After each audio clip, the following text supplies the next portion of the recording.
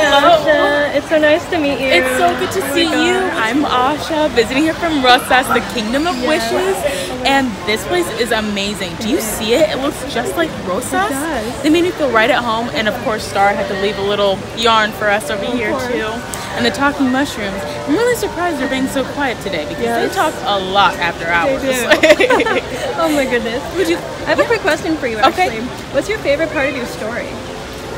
Huh.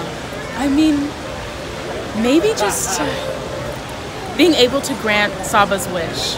Ever since Saba got his wish, he's not stopped playing the lute for everybody, and he's really inspired everybody to just keep fighting for theirs. And, you know, Rosas has been amazing since then.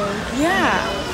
And your your movie is so amazing. Oh, thank you so really much. is. I love it. Absolutely love it. Oh, thank you. I hope it encouraged you as well to make Yes. make wishes and keep fighting for what you want as well. Of course. And Oh. if you had to make another wish, what would you wish for? Ooh. I don't know. I feel like I have everything I want right now, and my wishes are being granted as we speak. Like just encouraging everybody who comes to see me to keep making wishes and keep fighting for what they want. All right? Oh my. I Yeah. so much. Oh my god. Would you like to take a picture?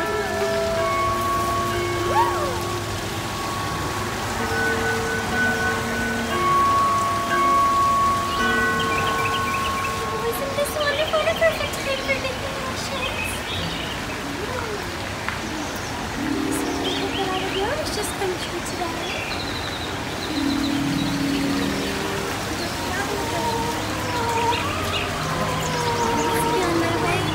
Perhaps you can make some wishes here too. Your birthday to come true.